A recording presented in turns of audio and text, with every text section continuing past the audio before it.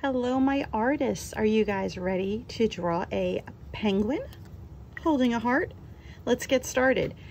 So the first thing that we're going to do is we're going to draw a pretty big curve. That's going to become our penguin's body.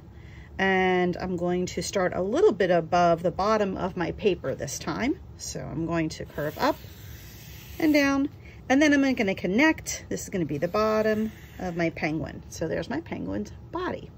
Now my penguin has flippers and the flippers are kind of like triangles and I'm going to make them on the body because the penguin is holding the heart. So triangle like this and a triangle like this. All right, there's my flippers. I'm then going to do the sides of my penguin's body. The penguin is black and white, so the flippers are black, the sides are black, and the middle part is white. So I'm going to draw a line. I'm going to go up when I get to my flipper, I'm going to stop and hop. I'm going to go up to the top, bump, bump, and I'm going to come down. When I get to the flipper, stop, hop, and keep going.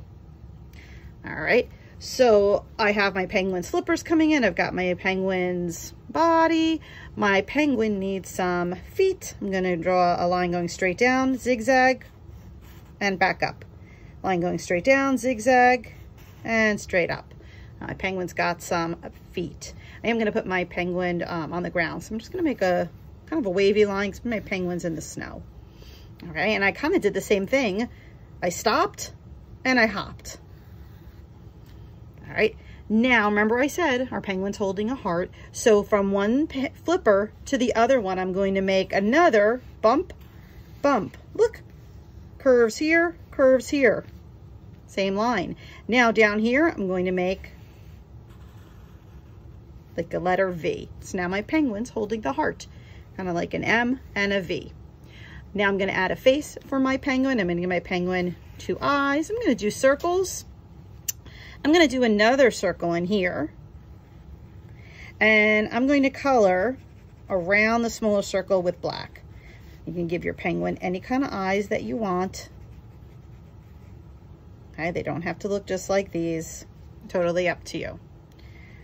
All right, you could also add things like eyebrows or eyelashes or anything you want. My penguin needs a beak, so I'm going to make the letter V and connect it right here. So there's my penguin holding a heart, and the next part is going to be adding color. Watch as I color my penguin in a little bit speedy, and you don't color this fast. I just speed it up so you guys can get started.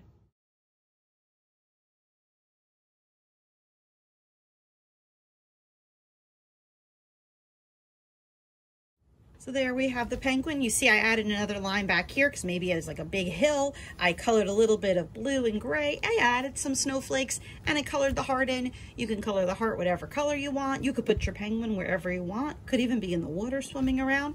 I can't wait to see all of your penguins.